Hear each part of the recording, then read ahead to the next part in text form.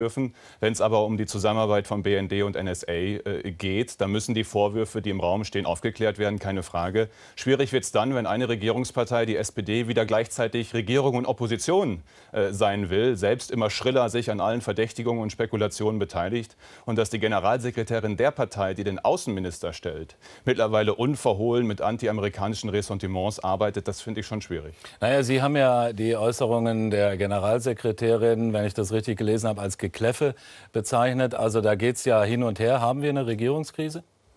Nein, wir haben eher eine Krise bei der SPD, würde ich sagen. Die Verzweiflung ist scheinbar so groß angesichts der Umfragewerte, dass man jetzt versucht, mit allem Möglichen um sich zu werfen. Und ich sage noch einmal, mittlerweile auch zu antiamerikanischen Reflexen äh, bereit ist zu greifen. Ich sage noch, auch noch einmal, wir wollen alle die Aufklärung. Die muss in den äh, parlamentarischen Gremien auch erfolgen. Da wird auch darüber gesprochen. Aber eine Regierungspartei muss in der Wortwahl, finde ich, schon aufpassen. Sie ist Regierung und nicht Opposition.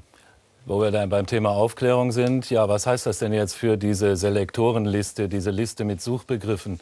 Auch gegen den Willen der USA veröffentlichen, dem Untersuchungsausschuss zur Verfügung stellen, ja oder nein?